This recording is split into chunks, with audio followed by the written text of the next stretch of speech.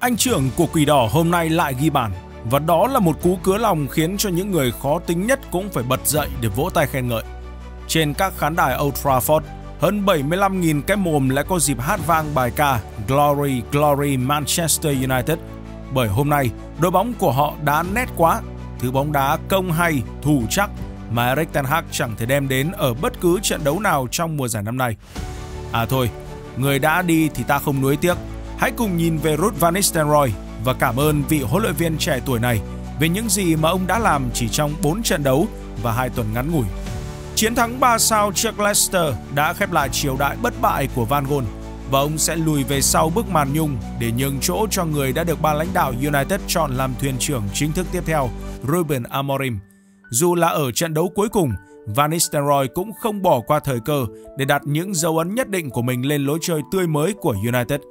Bruno tỏa sáng rực rỡ, chúng ta đã nhắc quá nhiều rồi, nhưng đội hình của Manchester United hôm nay cũng có hai người chơi tuyệt hay và chính là những di sản mà Nistelrooy đã tạo ra để làm bệ phóng cho Amorim trong tương lai. Và hai cầu thủ đó là ai thì hãy cùng bình luận viên Cú Tuấn tìm ra nhé. Trong trận đấu cuối cùng dẫn dắt Manchester United dưới cương vị huấn luyện viên tạm quyền, Ruud van Nistelrooy đã không còn đặt niềm tin vào Alejandro Garnacho, cầu thủ đã gây rất nhiều thất vọng trong những trận đấu gần đây. Số 17 của MU phải ngồi trên băng ghế dự bị, thế chỗ cho anh là Amad Diallo, người đã tỏa sáng với hai bàn thắng vào lưới của PAOK hồi giữa tuần tại Europa League. Trên thực tế thì phong độ của cầu thủ người bờ biển Nga từ đầu mùa cũng được đánh giá là tốt hơn so với Canacho rất nhiều. Chính vì vậy không quá bất ngờ với màn thể hiện tốt ở Cúp châu Âu đã giúp cho Diallo có được một suất đá chính trong cuộc tiếp đón Leicester. Đó chính là sự thay đổi duy nhất của Van Nistelrooy so với đội hình của United trong trận đấu với Chelsea tại vòng đấu trước. Phía đội cách, chủ công đội trưởng Jamie Vardy không có tên trong đội hình đăng ký thi đấu. Người hâm mộ Man United có lý do để tin tưởng vào một chiến thắng khi mà đội bóng của họ đã trải qua chuỗi 3 trận bất bại dưới quyền cầm quân của Van Gaal trước đó với những bộ mặt vô cùng tích cực. Cách đây chừng một tuần thì họ cũng đã đánh bại chính Leicester trong trận đấu tại Cúp Liên đoàn với tỷ số đậm là 5-2 trong một ngày mà Bruno Fernandes cũng như Casemiro có riêng cho mỗi người một cú đúp. Với cá nhân Bruno, tiền vệ người Bồ Đào Nha chỉ mở tài khoản bàn thắng ở mùa giải năm nay cho Quỷ Đỏ ngay sau khi Erik ten Hag rời đi. Khi tiếp ngay sau đó thì anh là người ghi bàn duy nhất trên chấm phạt đền, giúp MU có trận hòa chấp nhận được với Chelsea. Và chính anh chứ không phải là bất kỳ tiền đạo nào của Quỷ Đỏ là người được tất cả các Manusian tin tưởng sẽ tiếp tục tỏa sáng trong trận đấu này.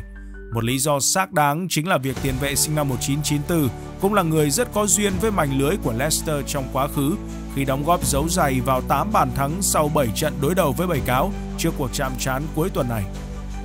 Vào trận, Manchester United tích cực tràn sang phần sân của Leicester ngay sau tiếng còi khai cuộc. Bầy cáo đương nhiên với tâm thế của đội cửa dưới lại vừa bại trận tại chính nhà hát của những giấc mơ cách đây không lâu, chủ động chơi phòng ngự chắc chắn và tìm cơ hội để phản công. Và rồi thì bàn thắng tới sớm và đó là một cú cứa lòng đẹp mắt làm mãn nhãn tất cả các cổ động viên MU. Người mà họ kỳ vọng nhất, đội trưởng Bruno Fernandes đã không làm cầu trường Old Trafford thất vọng khi anh tung cú dứt điểm hiểm hóc từ sát rìa vòng cấm, không cho thủ thành Hermansen bất kỳ cơ hội nào.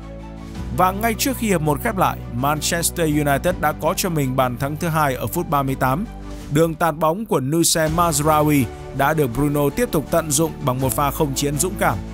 Tuy số 8 không đánh đầu chuẩn xác, nhưng bóng đã đi trúng người của hậu vệ Christiansen bên phía Leicester và đổi hướng bay vào lưới, nhân đôi cách biệt cho Manchester United. Nếu như Amad Diallo xuất sắc hơn trong pha solo ở những phút bù giờ, Quỷ đỏ đã có thể tìm kiếm được bàn thắng thứ ba. Không phải là không có những hạn chế trong màn thể hiện của United khi mà hàng phòng ngự của họ vẫn có những phút giây mất tập trung. Điển hình là tình huống Diogo Dalot làm hỏng bẫy Việt vị, giúp cho Wilfred Ndidi có cơ hội đối mặt với Onana. Thế nhưng trên tất cả, Quỷ đỏ đã vượt lên dẫn trước bằng một pha lập công thể hiện rõ ràng rằng lối chơi của họ đã trở nên thanh thoát hơn rất nhiều, không còn những áp lực và những màn trình diễn thất vọng, bế tắc như là cuối thời của Erik ten Hag. Đó chính là thành tựu lớn nhất mà Ruud van Nistelrooy đã làm được chỉ trong có 2 tuần ngắn ngủi dẫn dắt đội chủ sân Old Trafford. Tương lai của chiến lược gia 48 tuổi vẫn chưa được quyết định, nhưng chí ít thì ông đã chứng tỏ được mình hoàn toàn có năng lực và xứng đáng được ban lãnh đạo Manchester United tiếp tục giữ lại, dù cho không được tin tưởng trao một bản hợp đồng dài hạn. Sang đến hiệp 2, United không còn quá tấn công dồn dập và đó là lúc cho những Alejandro Garnacho hay Joshua Zirkzee, hai cái tên đã để lại vô số những chỉ trích trong trận đấu với Chelsea vào sân. Leicester City vẫn tìm kiếm cơ hội và bắt đầu cố gắng đẩy cao, hòng ghi bàn rút ngắn tỷ số. Thế nhưng Van Nistelrooy đã điều chỉnh hợp lý. Ông rút Dalot ra để thay người dày dạn kinh nghiệm Johnny Evans vào sân, kéo Lisandro Martinez sang đá hậu vệ trái và trả Mazraoui về cánh phải sở trường. Phải nói rằng liên kết giữa hàng hậu vệ và những tiền vệ phòng ngự của United trận này là vô cùng tốt khi cả Manuel Ugarte lẫn Casemiro đều rất chăm đoạt lại bóng, tranh chấp quyết liệt để các đồng đội có cơ hội tổ chức những pha lên bóng nhanh. Casemiro dù phải rời sân do chấn thương nhẹ nhưng vẫn là người có nhiều pha xoạc bóng thứ hai của trận đấu với 7 lần, thắng 2 trên 3 pha tranh chấp trên không và truyền thành công 89%. Sức ép của Leicester City là còn quá yếu so với một hàng hậu vệ đã chơi chắc chắn hơn rất nhiều của United trong hiệp 2. Đó cũng là thời cơ để Quỷ Đỏ tổ chức lên bóng nhằm tìm kiếm bàn thắng thứ ba. Garnacho sau khi bỏ lỡ những cơ hội 10-10, cuối cùng cũng đã tìm thấy được cảm hứng ghi bàn. Nhận đường truyền của Bruno, cầu thủ người Argentina tung ra pha cứa lòng cầu Âu tuyệt đẹp, chốt hạ chiến thắng 3 sao cho Quỷ Đỏ thành Manchester. Đây chắc chắn là màn trình diễn thuyết phục nhất của thầy trò Ruth Van Nistelrooy kể từ đầu mùa và là thắng lợi làm mãn nhãn tất cả các Manusian đã thức để theo dõi trận đấu này. Phải nói rằng Van Gogh đã chào tạm biệt quãng thời gian tạm quyền của mình bằng một trận đấu hoàn hảo và ông chắc chắn sẽ được các cổ động viên Man United nhớ đến rất nhiều khi đã giúp đội bóng này trở lại với những chuỗi ngày tươi sáng. Chiến lược gia người Hà Lan đã tạo ra một tiền đề hết sức sáng lạn trước khi Ruben Amorim chính thức đến với nửa đỏ thành Manchester. Chúng ta đã nhắc quá nhiều đến sự hồi sinh của những Casemiro và màn trình diễn thăng hoa của Bruno Fernandes với 5 bàn thắng chỉ sau 4 trận mà Van Gaal làm huấn luyện viên tạm quyền. Thế nhưng hôm nay thì tôi muốn nói đến hai cầu thủ đã thực sự tỏa sáng khiến tất cả các cổ động viên quỷ đỏ đều phải cảm thấy thỏa mãn và cũng là những người còn rất trẻ, hứa hẹn sẽ là những trụ cột của Man United trong tương lai. Đó cũng chính là những chỉ dấu mà Van Gaal đã vạch ra cho Ruben Amorim để chiến lược gia người Bồ Đào Nha có thêm những phương án xây dựng đội hình United phù hợp với chiến thuật của mình.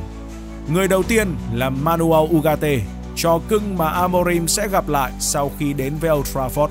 Như đã nói trước đây, việc giúp cho tiền vệ tân binh này chơi tốt hơn sẽ là một trong những nhiệm vụ mà tân thuyền trưởng 39 tuổi sẽ được đặt trọng trách khi tiếp quản chiếc ghế huấn luyện viên tại MU. Chính Amorim cũng đã lên tiếng nói rằng ông rất tin tưởng vào Ugarte và sẽ coi anh như là một quân bài chủ chốt tại Quỷ Đỏ trong tương lai.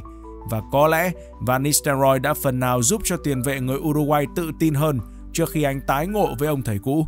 Ugarte được ra sân đá chính cả 4 trận trong chiều đại ngắn ngủi của Van Gogh. Anh đã chơi tiến bộ hơn qua từng cuộc đối đầu và đến khi chạm mặt Leicester City hôm nay, thì đó thực sự là một ngày mà Ugarte đã tỏa sáng. Nếu như Casemiro là người thường xuyên chiến thắng trong những pha tranh chấp trên không thì Ugarte đã đảm bảo nhiệm vụ này ở mặt trận đường bộ khi có 10 trên 16 pha tranh chấp mặt đất chiến thắng cầu thủ đội khách.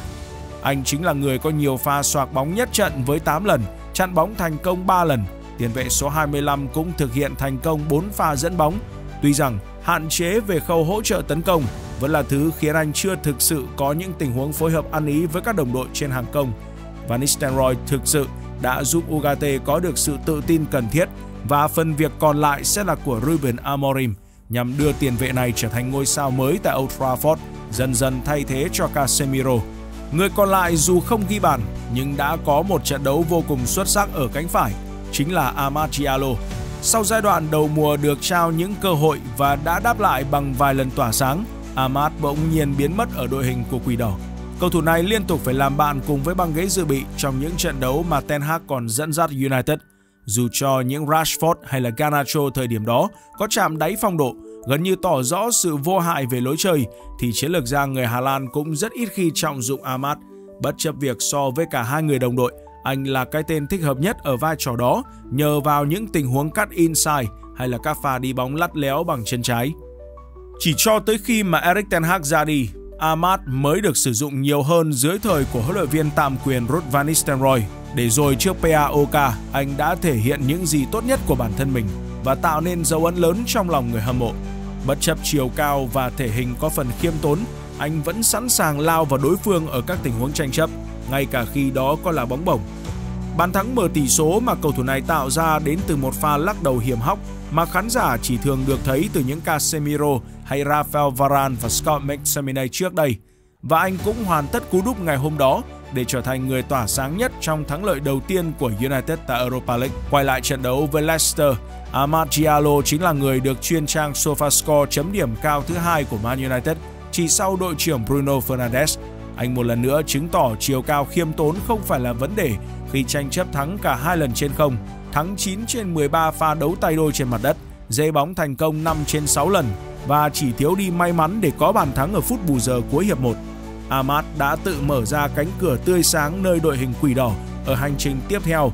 Dù chưa biết rằng Ruben Amorim sẽ sử dụng hệ thống chiến thuật nào, bố trí sơ đồ đội hình ra sao, song chí ít rằng khi nhìn cách mà Ahmad tràn đầy khí thế, nỗ lực đến cùng ở mỗi pha xử lý bóng trên sân cỏ, tân huấn luyện viên của Manchester United chắc chắn là sẽ không muốn bản thân mình mắc sai lầm như người tiền nhiệm Erik ten Hag vì đã bỏ quên một cái tên sáng giá bên hành lang cánh phải nơi vẫn luôn là điểm yếu suốt bao mùa giải qua tại Old Trafford. Màn trình diễn điểm 10 của các học trò Ruth Van Nistelrooy như là lời chia tay đẹp mà họ dành cho ông thầy tạm quyền, người chỉ gắn bó với đội bóng có đúng 4 trận đấu nhưng lại đem đến một tâm thế mới với chuỗi trận bất bại gồm 3 thắng và 1 hòa. Chắc chắn rằng Manchester United lại đang tràn đầy hy vọng về một mùa giải, nơi mà họ có thể là ứng cử viên cho ngôi vị trong top 4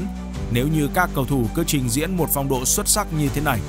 Van Gogh đã hoàn thành sứ mệnh của mình xuất sắc và giờ là lúc ấn kiếm tiên phong được trao lại cho Ruben Amorim, cùng với một triều đại mới sẽ được bắt đầu tại nhà hát của những giấc mơ.